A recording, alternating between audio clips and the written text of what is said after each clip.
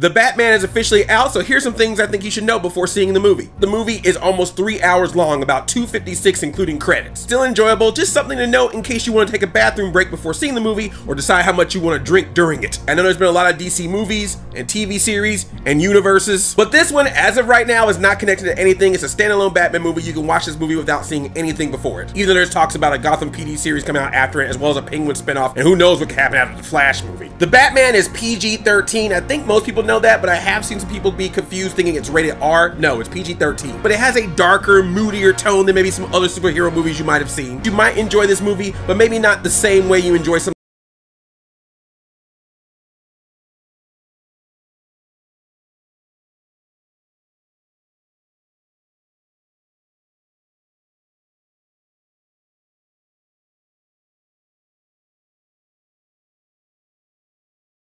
and let me know what you think of the movie.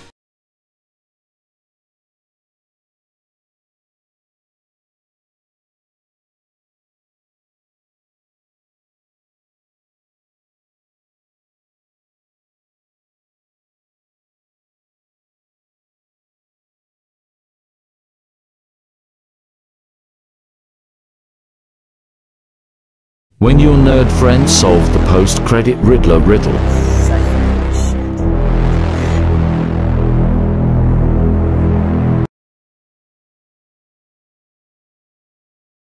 There is a final riddle hidden by the Riddler in the Batman credits. Here's how to solve it. When the Riddler says goodbye in the final second, there is a hidden message, rataalada.com. If you head to this site, you'll be presented with a series of questions. Answer all three correctly and you'll get a message from the Riddler.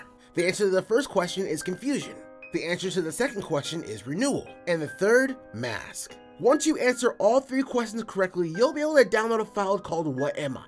which is encrypted. The password is promise. With this, you'll get a message from the Riddler and a hint to a possible future villain. Okay, so watching the Batman a second time, I can confidently say that I like it better than The Dark Knight and The Dark Knight Rises. I've come to that conclusion. I still love those other two films, don't get me wrong, but yeah, the, the Batman's a better film. It's a better film for me.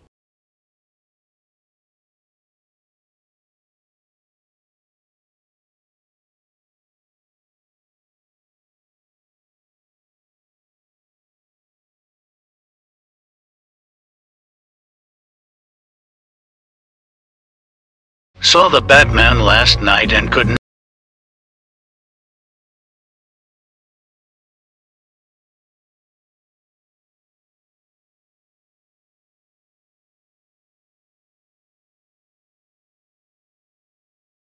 Alright, let's talk about this. Which one is better, the Batman or the Dark Knight? And obviously no spoilers, I mean the movie just came out. Alright, let's start this off with who had the better performance, and I already thought this was tough. Christian Bale has always been my favorite Batman, and I think his Bruce Wayne is underrated. However, you start to see the shortcomings in his Batman performance in comparison to Robert Pattinson's. Robert Pattinson, while in the suit, conveys a lot of depth in his character. Not only do you feel the weight of his depression and sadness, but he is also very intimidating when he's just standing there staring at people in the room. Slightly edges out Christian Bale here. Who had the better character arcs? Batman gets a great arc in the movie, Selina Kyle kinda does, but at a cost. He gets a great arc for a two hour movie, but this is a three hour movie. Other than that, that's pretty much it for the Batman. Dark Knight completed these three arcs plus Commissioner Gordon. The Dark Knight wins there. I'm not gonna get into the villain discussion. We already know what it is. Next. Who had the better Gotham? I'm gonna just say Dark Knight loses.